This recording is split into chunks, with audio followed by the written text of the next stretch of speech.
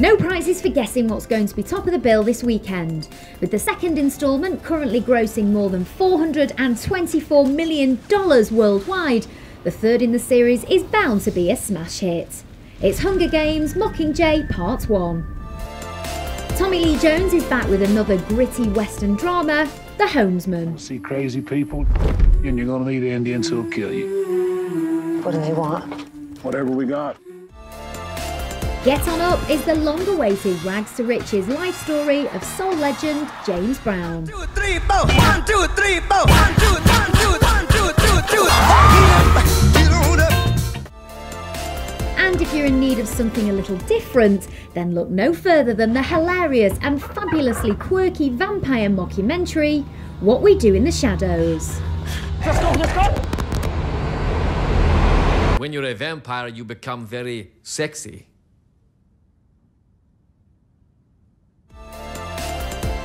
And don't forget, still going strong at the box office is the Alan Turing biography, The Imitation Game. That's all for this time, but don't forget for all your movie news and reviews, visit screenboo.com.